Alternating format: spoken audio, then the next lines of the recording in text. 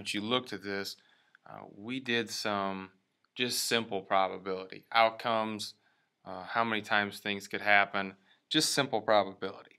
Today we're going to do some complex probability where we have more than one thing going on at a time. So the first example that I've got is the probability of, uh, and these are both two separate things, getting a 6 on a dice and right afterwards uh, flipping a tail on a coin. Okay, and we're going to figure out what the actual probability of that is. And it's actually pretty simple to do. All you need to do is find the chances of each one happening and then multiply them together. So for example, the probability of getting 6 on a dice is 1 out of 6 possible outcomes. Okay, You could get a 1, 2, 3, or 5, or 6. Only one of those is going to get us a 6. So it's 1 out of the 6 outcomes. Tail on a coin would be 1 out of 2. You have two outcomes. Only one of them is a tail, so it would be 1 out of 2. Now all we have to do is multiply those together. Now, we haven't talked about multiplying fractions at all this year, but it's very, very easy. All you have to do is multiply the numerator and multiply the denominator. So if I do 1 times 1, that's 1. Uh, 6 times 2 is 12.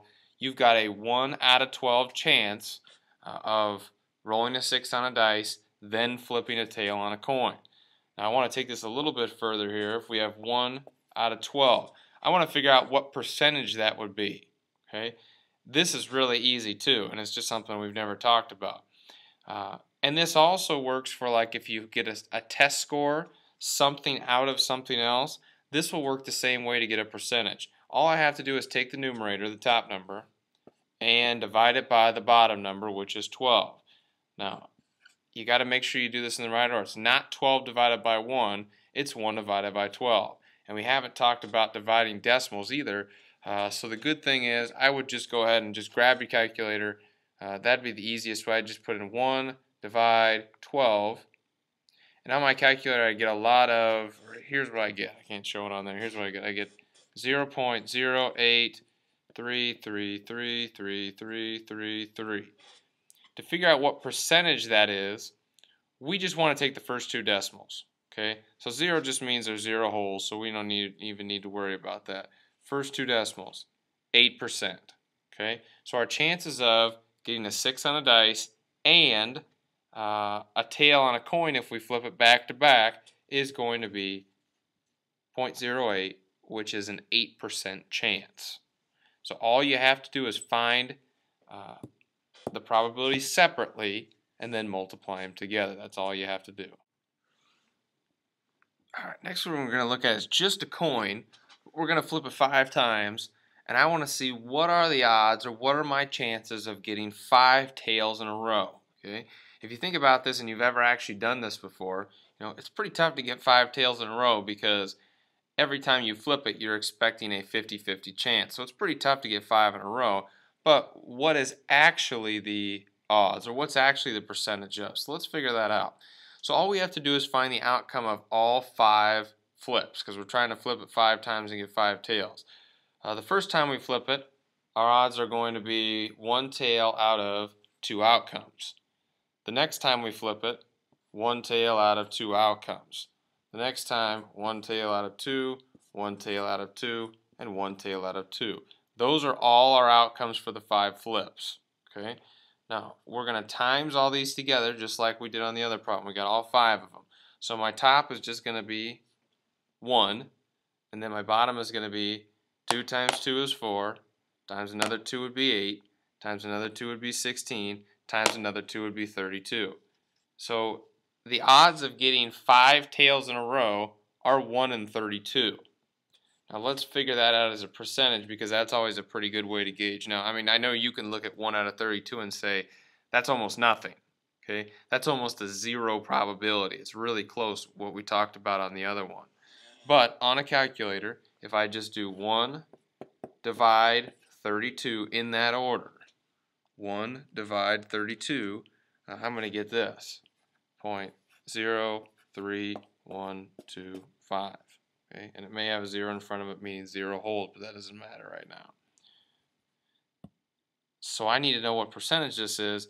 Uh, just take the first two numbers, and we'll call it 3%. Okay, so you have a 3% chance of flipping five tails back to back to back to back to back. 5% chance. Next one I'm going to show you is if we have five cards. And the cards are labeled 1, 1, 2, 3, and 4. And we're going to draw cards, and each time we draw a card, we're going to put it back. So we're always going to have five cards. We're always going to have five outcomes. What I want to do is, I want to find the odds of drawing a 1 three times in a row compared to the odds of drawing a 2 three times in a row. Okay, so our first one's going to be probability of 1 three times, and our second one is going to be the probability of 2 three times, and see how they compare. Okay, so we're going to have three trials for each one. Uh, first trial, uh, we're always having five outcomes here because we have five different things that we could draw, five different chances, five different cards. So to get a 1, the first time around, the probability would be 2 out of 5. The probability of getting a 3 if we draw out of all five cards is just going to be, or getting a 2 is just going to be 1 out of 5. Okay. Next trial. Probability of getting a 1 is still going to be 2 out of 5 because we put the first one we got back. So we always had 5. Okay. Probability of getting a 2 the next time uh, on the next draw is still going to be 1 out of 5 because we only have one of them. 1 out of 5. And the last one, it's going to be the same thing. We got the same chance of drawing a 1 every single time. So that's going to be 2 out of 5. Uh, this one's going to be 1 out of 5. Now we just need to multiply together and we'll compare them to see how they're different. Uh, if I times all these together, 2 times 2 is 4, times 2 is 8. So that's going to be 8 out of 5 times 5 would be 25 times another 5. 5 quarters would be $1.25, so it would be 125. Okay. Uh, if we go down here, 1 times 1 times 1, we've got 1, and then the bottom number, 5 times 5 times 5, is 125. Okay.